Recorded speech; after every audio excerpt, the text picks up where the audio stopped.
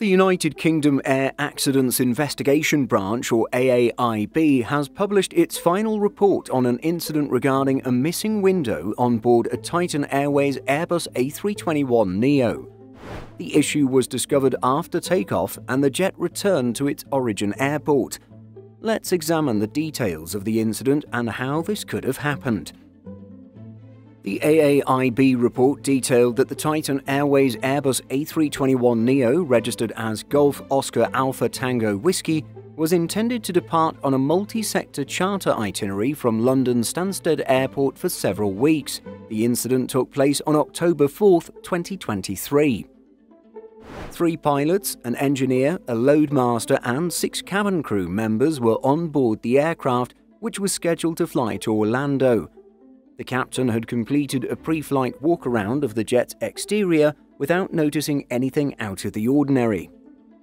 Shortly after takeoff, those in the main cabin recalled that the interior was much noisier and colder than usual. Once seatbelt signs were turned off, the loadmaster began walking toward the aft of the aircraft, noticing an unusual amount of noise when walking past the overwing exit.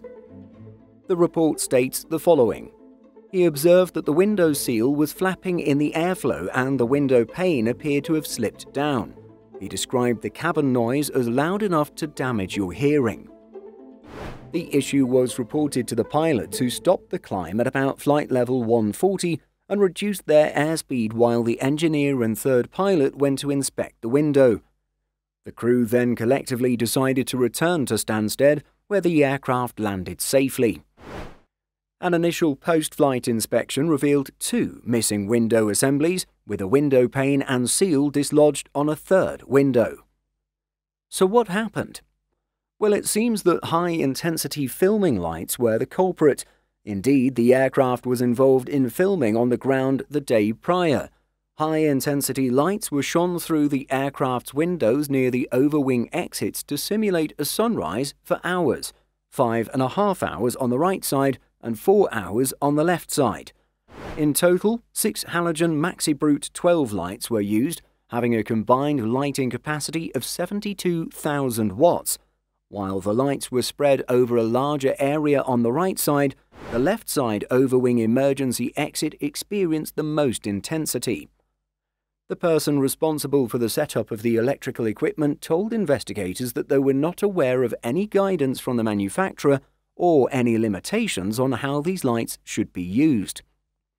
The AAIB concluded that several window components were lost during the flight and that the high intensity light emitted sufficient infrared radiation to heat the acrylic windows to soften them. Thus, the windows distorted and shrunk and fell out during the flight due to vibration or pressure differential. Titan Airways reminded its department responsible for the filming to use a risk assessment process for similar activities, while Airbus has published an in service information document highlighting the potential effect of using high intensity lights near an aircraft. What do you think of this bizarre occurrence? Share your thoughts by leaving a comment.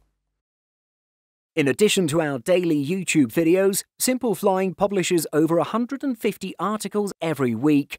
If you're looking for the latest aviation news and insights, visit simpleflying.com.